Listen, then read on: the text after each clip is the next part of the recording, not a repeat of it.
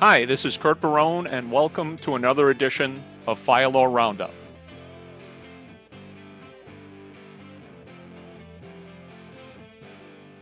Okay, so now under that perfect guise of what it takes to challenge, let's go to again something I think is super interesting. I don't think they have a chance in heck of winning, but and and today we got some decisions, um, right or yesterday. Yeah, um, well, they kind of came. They kind of came in over the weekend. I got them uh, Okay. Saturday, and then yesterday the second one came in. But Okay, and they're and they're good. They're they're a little bit helpful, but here's what we have. I, I could sum this up the best I can. So we have a bunch of FDNY chiefs who have been demoted, and these were of I think 18. I might mess that number up, but these were a large number of a very small number. Right? There's like 11 or seven of the 18, whatever. yeah, there were well, there, there were three who were demoted.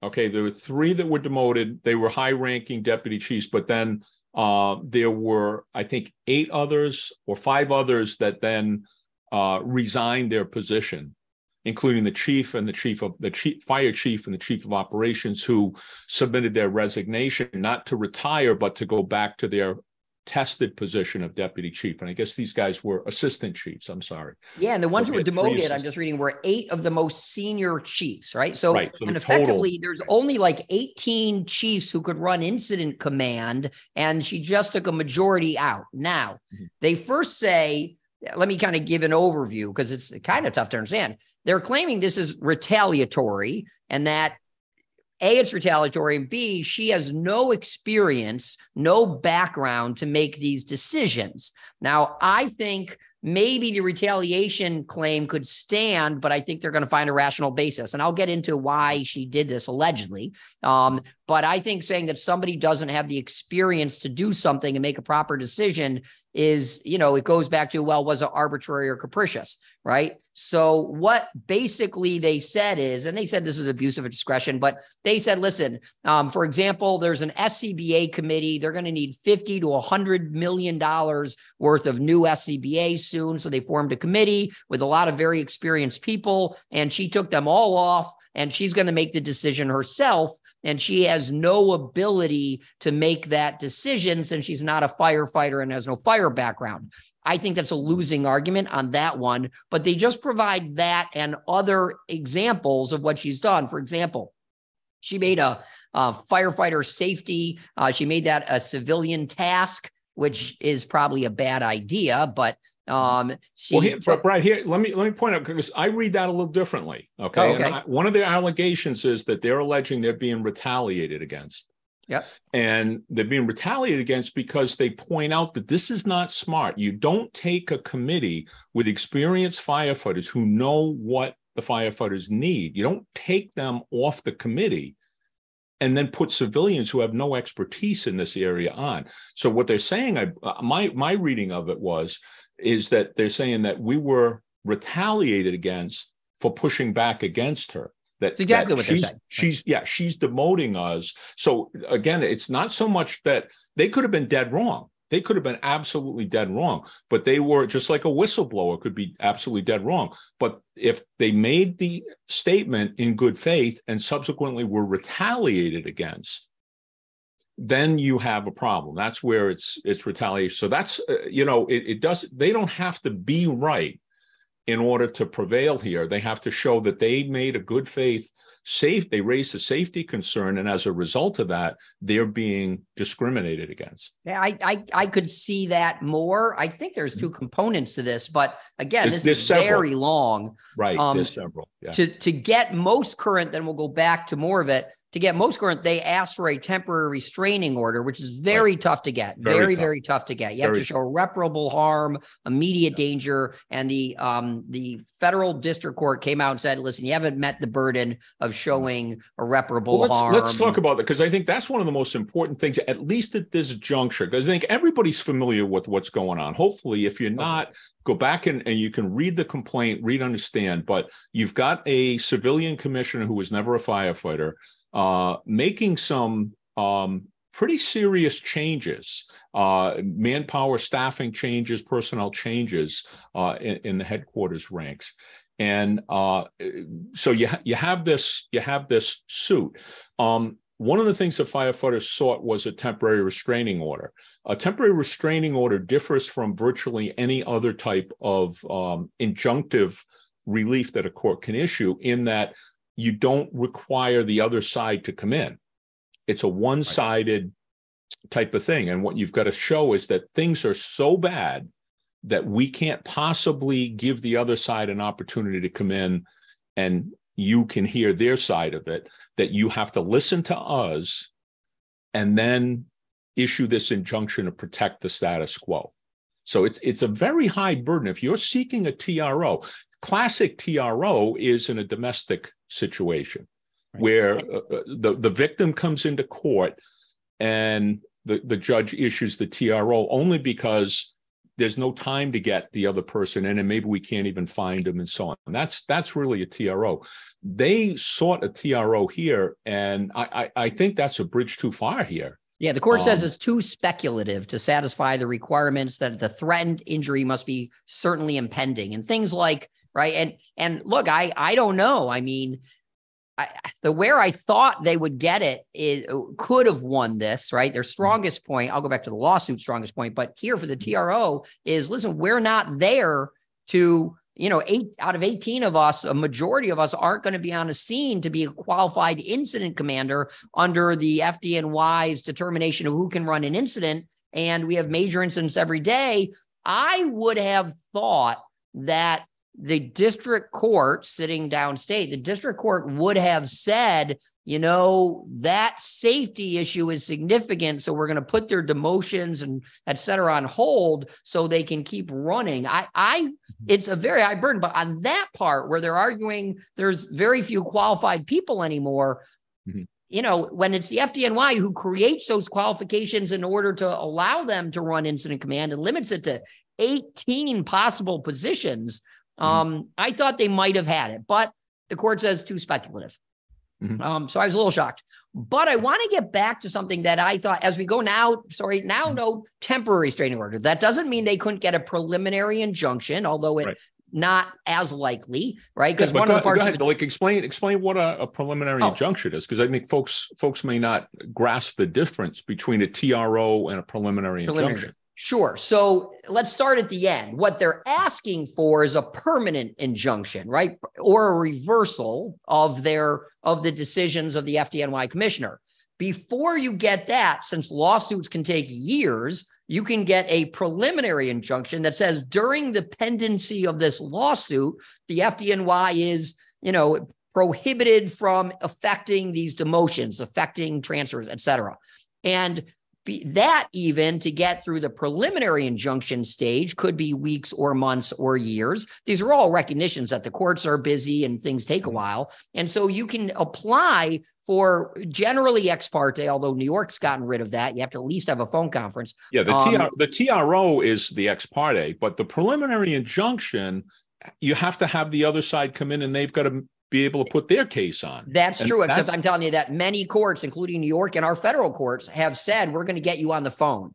Um, you have to give notice pre, to for, the other side. Or preliminary it's, injunction or a TRO? TRO. TRO. Well, yeah, cannot, for TRO, but a preliminary injunction is like the next step in the process. No, agree. Which is which is fully argued, right? In paper, the TRO now is just argued on the phone, right? It's okay. it's asked for in paper, right? You mm-hmm how it works is you file the preliminary injunction, right? Well, you file your Article 78.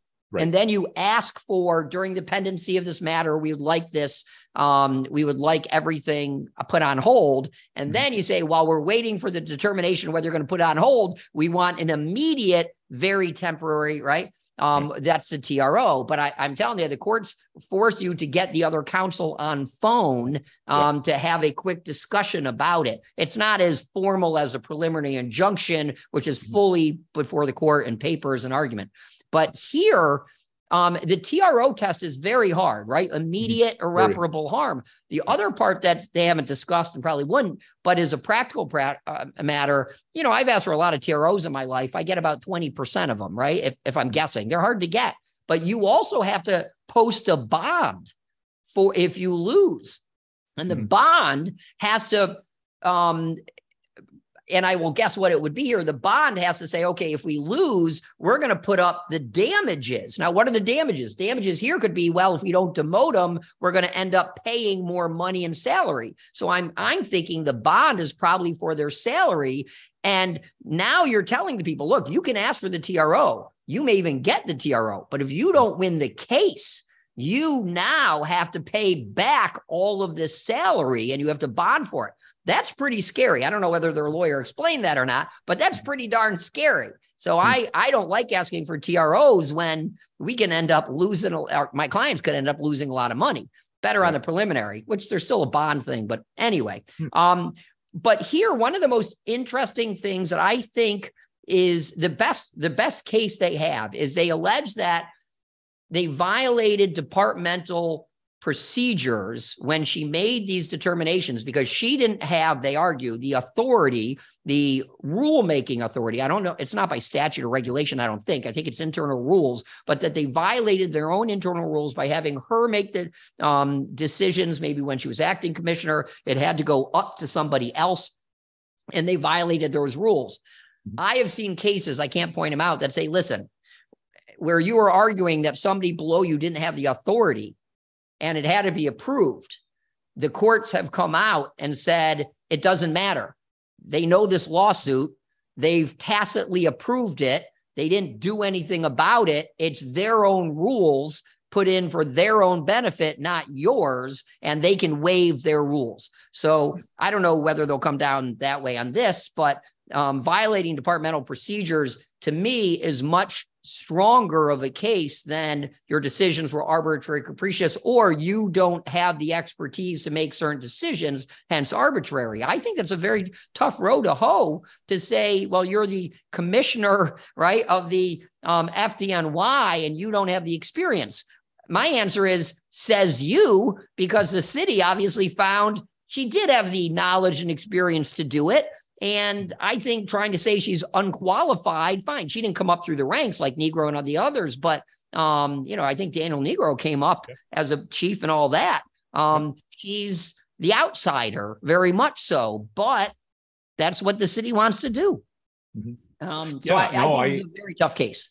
Yeah, I I, uh, I agree on that account. Um, but I think the the um, pinch point was that she made these determinations without including the fire chief. And the regulations state that she's got to make appointments uh, after consulting the fire chief. She's got you know they, they've got to and, and, is it and, the regs or the rules, like statutory that, regulations? That wasn't, yeah. I don't think it was statutory. Uh, okay. Uh, so, and and uh, and again, I think you're you're absolutely spot on there in terms of whether or not the court is just going to say that's they're her rules, and so you know the city's rules, and they didn't follow them, but that's not really something that gives you a basis to to argue uh, about. But again, I think if we go back to the retaliation part of it, um, that they raised safety issues and as a result of them raising safety issues, she now has retaliated against them. Um, you know, there there may in fact be some basis there. I think that's probably their strongest argument, but that's it's going to take a while uh, for that. That's not the type of thing where you're going to get a TRO on. No um, and uh, again, just to just to clarify here, we're talking about not not incident command at regular fires, one and two alarm fires, but really the, there's a, a, procedure for who's going to respond to three, four, and five alarm fires, and uh, so which these, are every week. Yeah, well, every week down at FDNY. I right. mean, this isn't like it may happen, you know, mm-hmm. like a train wreck, which apparently now is happening every week.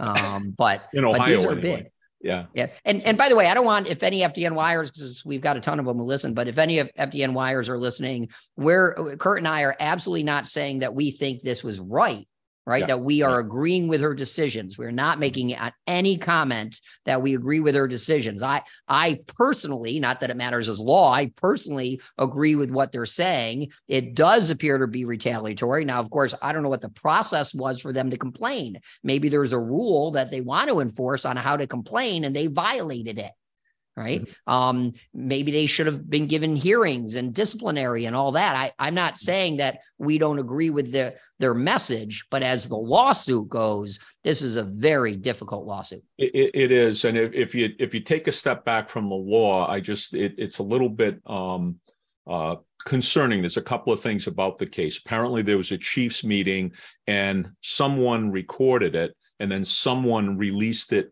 to the media. Hmm. Uh, and, and it was released to the media in a way to make the chiefs who were in the meeting look bad.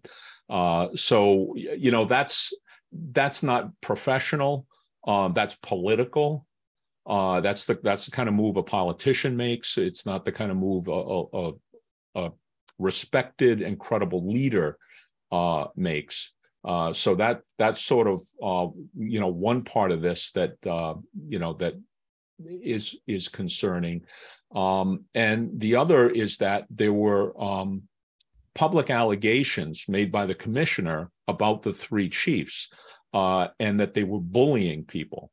Um, and you know, funny thing about a bully is um, I've yet to meet a bully who realizes they're a bully. I, have yet to, right? I've never met a bully who says, "Oh yeah, I'm a bully."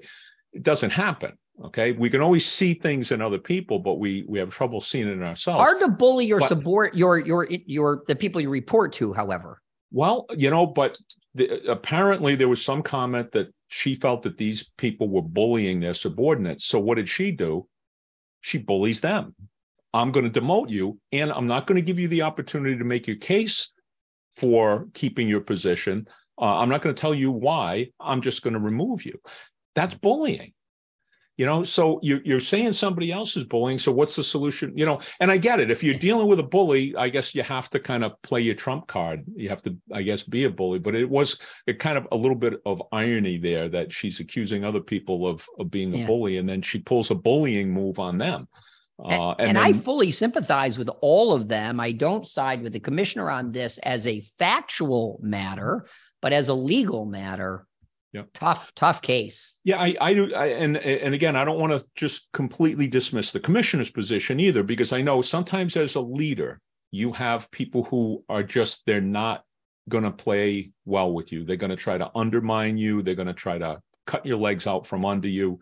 Um, and I, have been in that position in diff- at different points in my career where people have tried to cut my legs out from under you. It's it's not a very pleasant position to be in. I well um, know you know right when and i know i'm speaking of the choir and so um but at the same time you know is that actually what's happening here or were those people raising legitimate safety concerns about some of her decision making and that or this both. is retaliation so that's why we have courts folks that's that's what the courts um you know we can we can speculate uh but um it's going to be up to the courts to figure out whether the commissioner was really dealing with um, insubordination in the ranks that she felt she needed to to manage, or whether in fact she was uh, a bully herself and was retaliating against these people who were. And I, I would be guilty of doing this if I was her subordinate, and she I felt she was making a mistake.